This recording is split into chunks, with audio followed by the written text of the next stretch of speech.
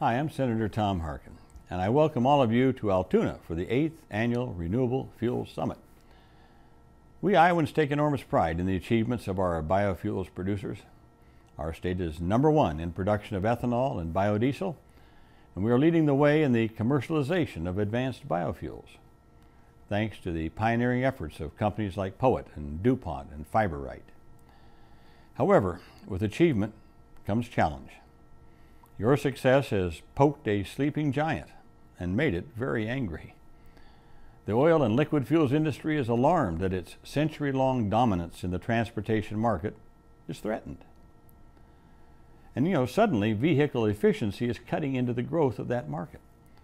And biofuels are providing highly attractive alternatives.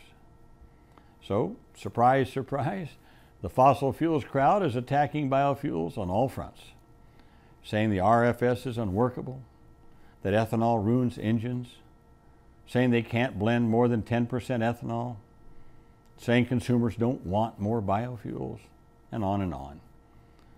Of course, we anticipated the blend wall when Congress passed the RFS. Its very intent was to allow biofuels to reach and then exceed 10% of transportation fuels markets.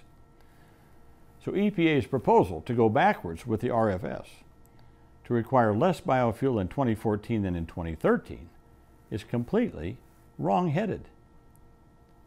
Supposedly, EPA and OMB are concerned that higher volume obligations will drive up the RINs prices, and that in turn will drive up gasoline prices. But that theory is not supported by either evidence or logic. In the meantime, EPA's decision has put a whole thriving industry at risk. So I have joined with others to fight this destructive decision. And I know I can count on you to pitch in as we do everything possible to reverse it.